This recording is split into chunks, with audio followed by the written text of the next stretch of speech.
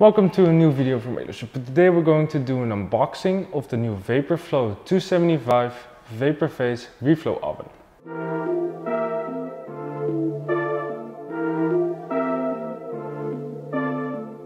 The Vaporflow 275 is a new vapor phase oven used for reflow soldering.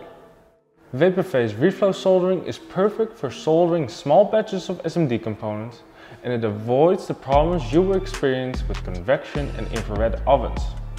So in this video I'll be showing you how the vapor phase oven looks like, what features it has, how a vapor phase oven even works, and we're gonna try to solder a PCB with this machine. So let's start unboxing. So this is how the inside looks like of the box. First you need to take out some styrofoam, the lid of the oven, and you're gonna need a big piece of uh, styrofoam to put on the table so you can put the oven on there to prevent scratches on your table for instance. Here we also have a box which we also carefully take out.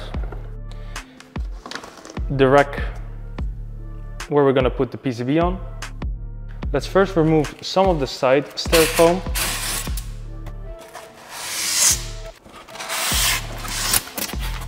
And now we can take out the vapor phase oven so we can put it on a piece of foam. So we're first gonna move the box a bit. So we have some free space to put the oven on.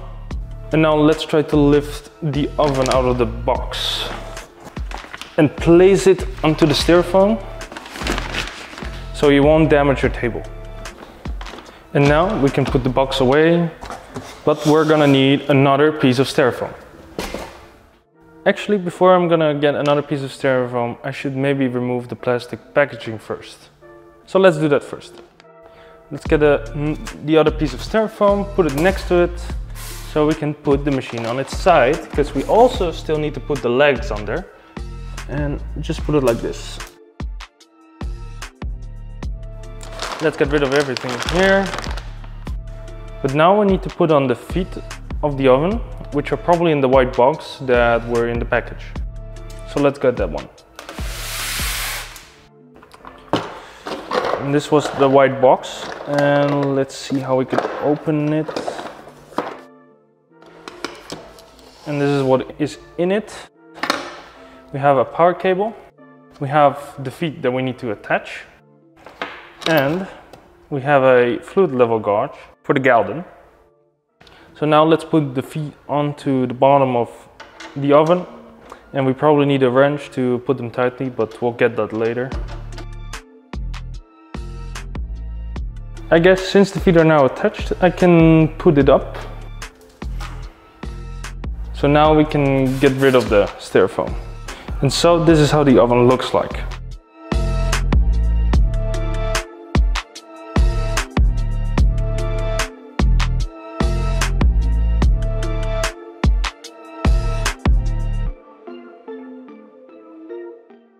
The VaporPhase Reflow oven comes with several features such as a touchscreen display which will be used to control the device. And you can plug in an SD card into the side of the machine so you can lock the temperatures during soldering. Furthermore, there is a lid sensor inside the oven that detects if the lid is properly closed with the use of a magnet on the lid and there are safety features to prevent overheating of a PCB. Before we can start using the VaporFlow, we need to make sure that the container is free from dust and clean on the inside to prevent contamination. Afterward, you can connect the VaporFlow to the mains, but make sure it is turned off before connecting. We can now fill the container with PFPE fluid, but for that we're going to need this fluid level gauge. The only thing you have to do is to keep adding small amounts of PFPE fluid until the level in the container is between the two indicators of the gauge.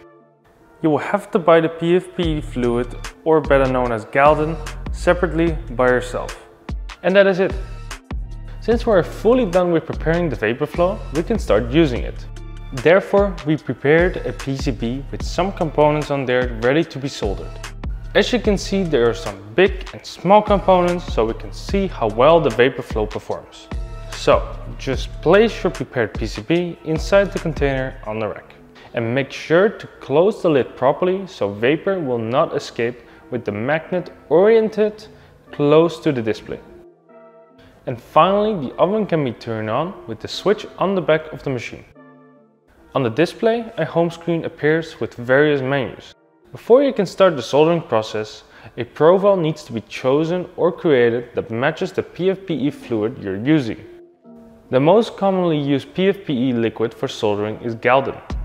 We are using Galden LS230 liquid, which is also the default profile on the VaporFlow.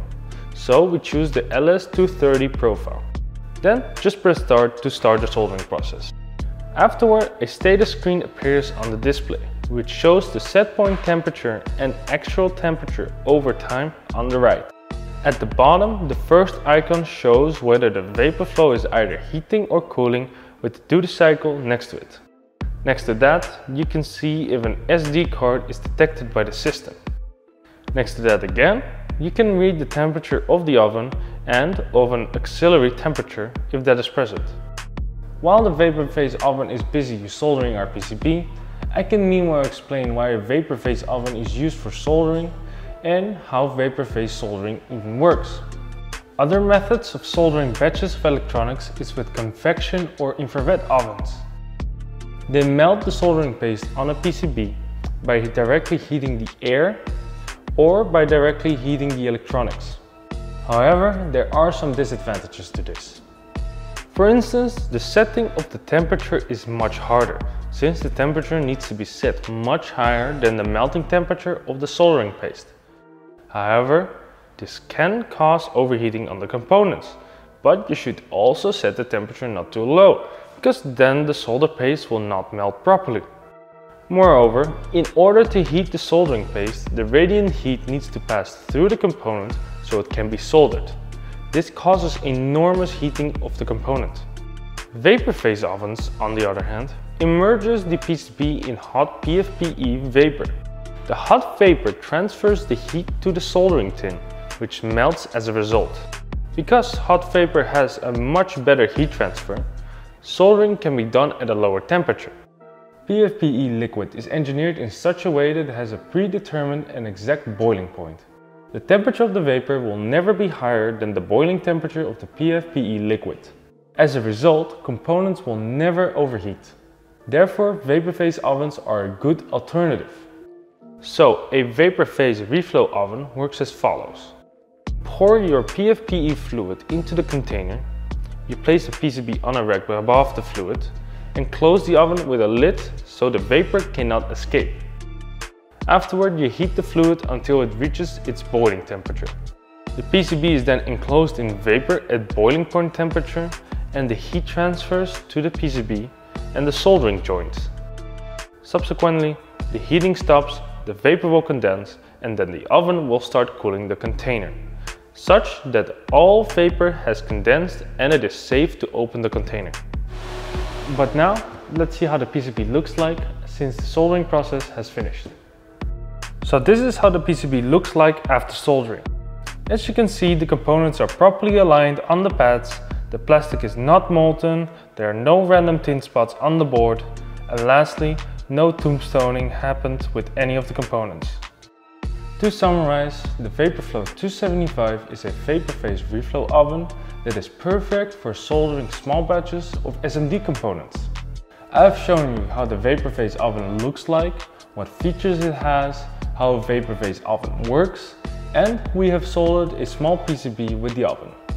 If you want to know more about the VaporFlow 275, you can find the product on our website and there is a link to the product page in the description. But now I want to thank you for watching and I hope to see you at the next video.